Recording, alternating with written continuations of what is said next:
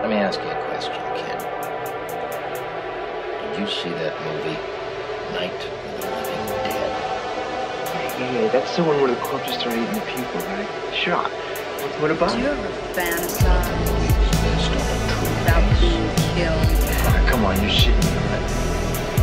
Get more serious, am I mean, I got something to say, you know? What do you think this is all about? You think this is a fucking costume?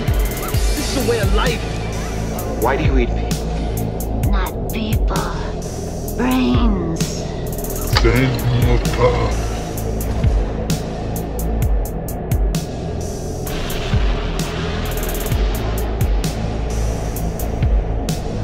Give you, darling.